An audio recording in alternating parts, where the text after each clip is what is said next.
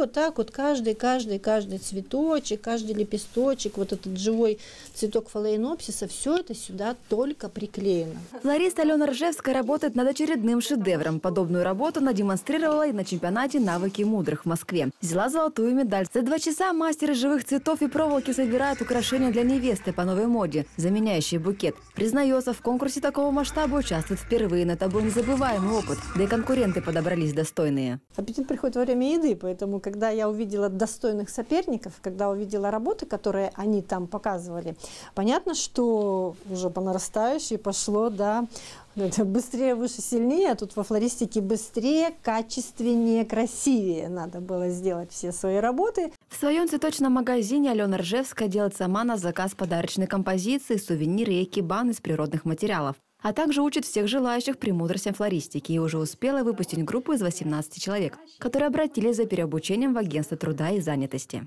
Учиться никогда не поздно, даже если вам за 50, можно найти занятие, близкое по духу и получать за это деньги. Главное, чтобы удовольствие приносило.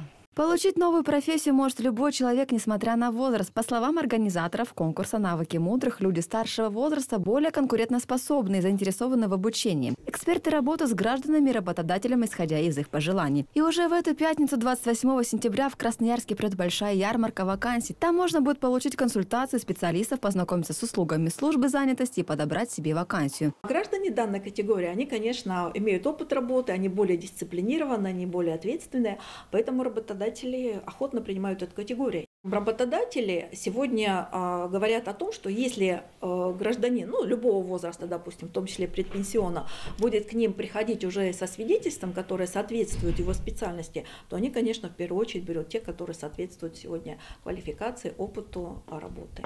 Ну и к тому же прийти за вдохновением. Вдруг кто-то тоже решит проявить себя и показать, на что способен. Ну и кто знает, может быть, поехать на следующий национальный чемпионат «Навыки мудрых» по стандартам World Skills. По словам специалистов, главная цель таких соревнований – продемонстрировать профессиональное долголетие, желание и способность работать с удовольствием в возрасте 50+. Диана Хатяшвили, Всеволод Никитин, Енисей. Новости.